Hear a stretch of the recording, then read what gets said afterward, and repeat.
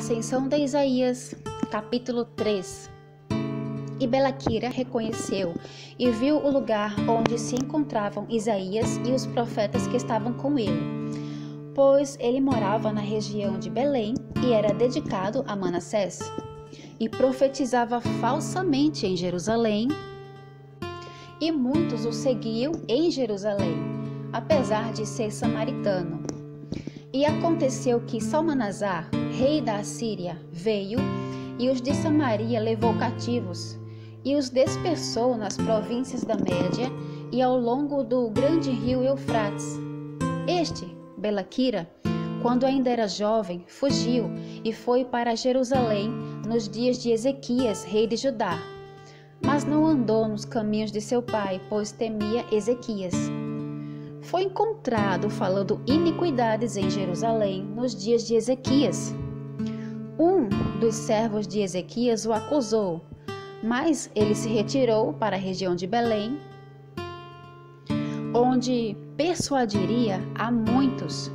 E Belaquira acusou Isaías e aos profetas que estavam com ele, dizendo: Isaías e aqueles que com ele estavam profetizando contra Jerusalém e contra as cidades de Judá, que elas seriam devastadas, contra os filhos de Judá, Benjamim, e que elas iriam a cativeiro, e também contra ti, ó majestade, que tu serás preso com ganchos e correntes de ferro.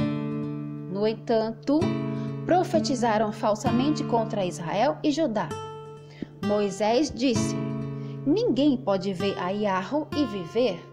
Mas Isaías diz: Eu vi a Iarro e ainda vivo. Saibas, portanto, ó rei, que ele está mentindo. Isaías ousou chamar Jerusalém de Sodoma e os príncipes de Judá e Jerusalém de Gomorra. E Belaquira levantou muitas mentiras contra Isaías e os profetas antes de Manassés. Mas Belial habitou no coração de Manassés e no coração dos príncipes de Judá e Benjamim e dos eunucos e dos conselheiros do rei. E as palavras de Belaquira agradaram muito ao rei, e ele enviou seus guardas para prender Isaías porque Belial estava bastante irritado com Isaías por causa de suas visões e por causa também pelo modo como ele expôs a Samael, e porque através dele a vinda do amado desde o sétimo céu. Se tornaria conhecida e sua transformação, sua descida entre os homens, como ele deveria ser transformado, isto é, a semelhança do homem e a perseguição com qual ele seria perseguido, como haveria de ser rejeitado, os tormentos que ele iria sofrer nas mãos dos filhos de Israel, a vinda e o ensino de seus doze apóstolos, sua crucificação no madeiro, na véspera do sábado, e que seria crucificado entre dois ímpios e acerca de sua sepultura. E os doze que estarão com ele serão ofendidos por sua causa, e serão colocados guardas para vigiar o seu túmulo. E o anjo da igreja cristã, que estará no céu, no fim dos tempos, e o anjo Gabriel do Espírito, e o arcanjo Miguel descerão do céu, e virão no terceiro dia abrir o seu sepulcro e o amado, assentado nos ombros dos serafins, virá e enviará seus doze apóstolos. E eles anunciarão a todos os povos e a todas as nações a ressurreição do amado. E aqueles que crerem no madeiro serão salvos. E ele subirá novamente no sétimo céu de onde viera.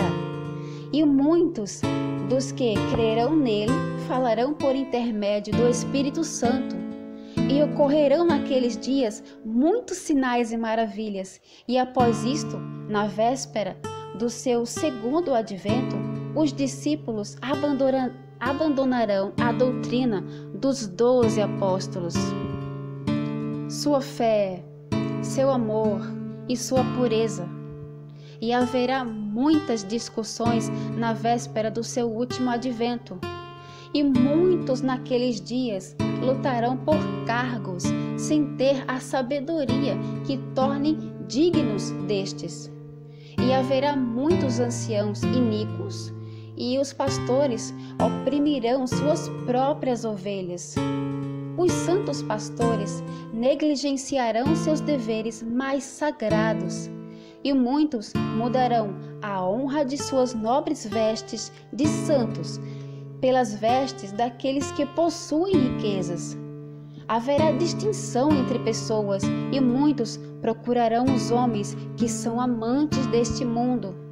Haverá calúnias e vanglória antes da aproximação do Senhor, e de muitos será retirado o Espírito Santo. E naqueles dias, não muitos profetas, a não ser aqui e ali, em diferentes lugares, alguns que anunciarão as grandes verdades. Por causa do espírito do erro, fornicação, vanglória e de avareza que haverá naqueles dias, alguns, a quem se chamar servo único, receberá este único. E surgirá grande ódio entre pastores e os anciãos. E a cobiça será o sentimento dominante, pois cada um dirá apenas o que lhe for agradável aos seus ouvidos, e não farão caso algum dos profetas que vieram antes de mim. E estas minhas visões também não serão levadas em consideração, pois falarão segundo o impulso de seus corações.